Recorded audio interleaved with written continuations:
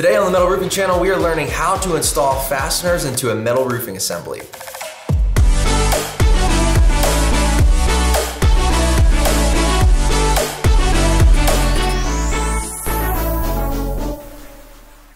What's up guys? Welcome to the Metal Roofing channel. I'm Thad Barnett from Sheffield Metals. It's a great day here on the channel. I'm at Triangle Fastener Corporation in Cleveland and we are talking about how to install fasteners in a metal roofing assembly.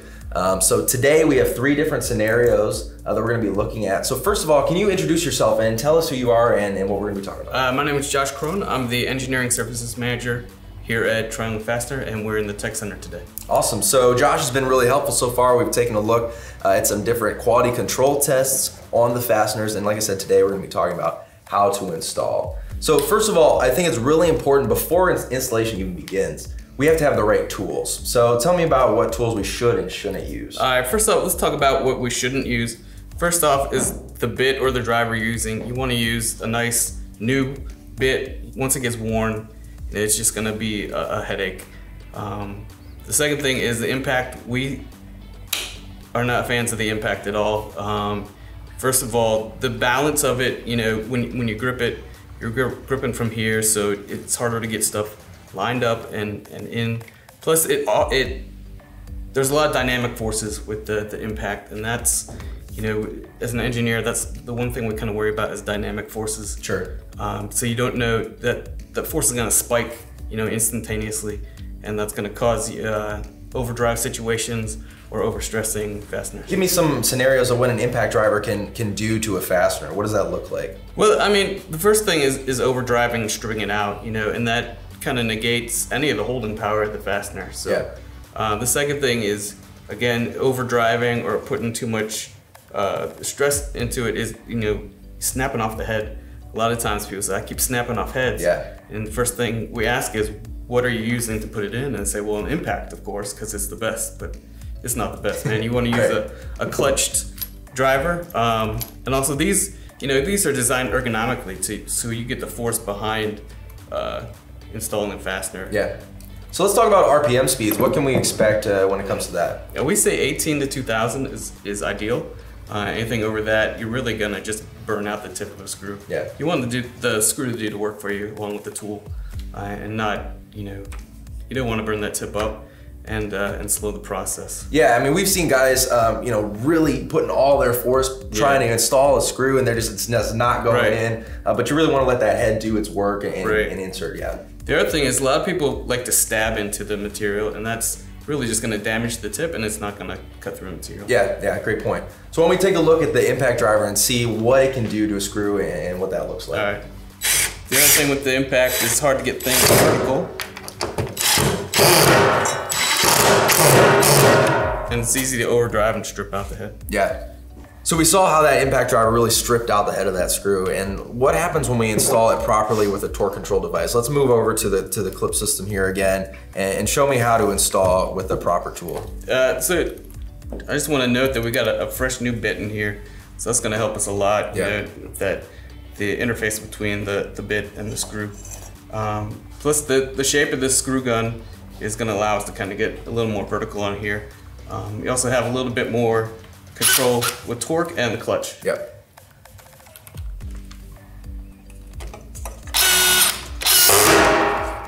So tell me what screw we're using to go into the clip system here. Uh, we're going to use our concealer. It's a low profile head. Uh, this particular one has the gimlet point, which is great for driving into wood. Okay, you mind if I give it a shot? Sure, go ahead. So give me some tips uh, when using a uh, screw gun like this. Uh, first off is grip. Okay. Uh, most people grab uh, like that, like a pistol grip, yep. but these uh, guns are designed to hold right like that. Got it. Okay, so when you're going into a clip system, what am I looking for here? You just want to try to be as vertical as possible. Okay. And uh, let the tool do the work. How's that look? Not too bad. Not too bad. okay, so I also have a fixed clip here, and what screws are we gonna use to in install this fixed clip? Uh, for that clip, we can use uh, our ULP.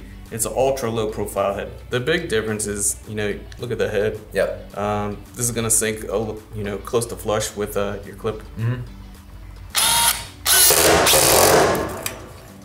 And you can see like the differences in the clip here. This this raised bit, which is kind of almost flush to this this uh, fastener here, and the ultra low profile just goes right into this this clip system.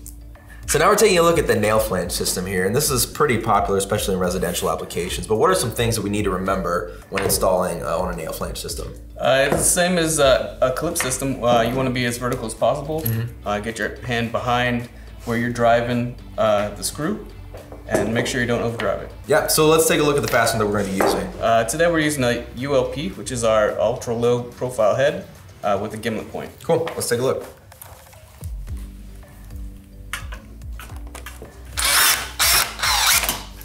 Awesome.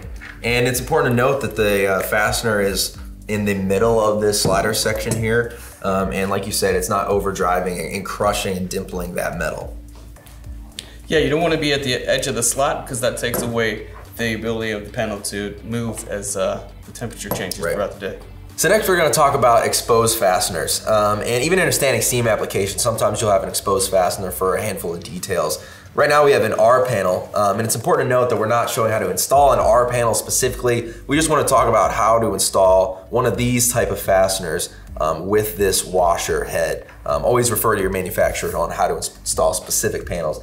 But tell me about this fastener uh, that we're talking about. Uh, this is our panel type burr buster. Uh, we have a, a special tip uh, on this fastener to uh, eliminate and reduce burrs. okay. Um, what that does is uh, when you get rid of the burr, um, you eliminate the chance of that burr getting caught underneath the sealing part of the washer and tearing it, or just allowing a, a, a valley for uh, water to penetrate. Got it. And this washer is the, the really the important part that we're going to be worrying about here um, when it comes to this fastener. And when we're uh, driving this into the metal, we don't want to overdrive and potentially crack and explode out that washer so the UV has a chance to degrade it. Um, but we want it to be to just be perfect. So Right. Um, the washer is a good indicator of whether you're driving it, you know, too much or not enough. Yep. Uh, you want that just to, to peek out beyond the, the metal portion. Um, and a good way to make sure you're not overdriving is to set your clutch properly. got it. So yeah, talk to me about the, the tool a little bit more.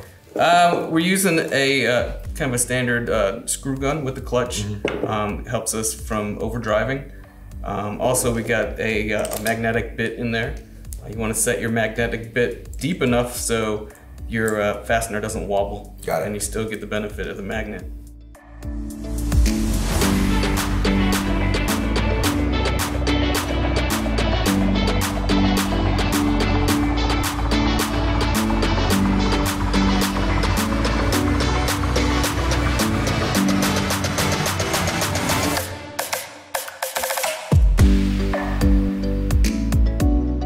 So we hope that uh, this helped you learn how to install a fastener. If you have any questions, please comment down below. Thanks so much for showing us these three scenarios between clip system, a nail flange system, and exposed fastener system.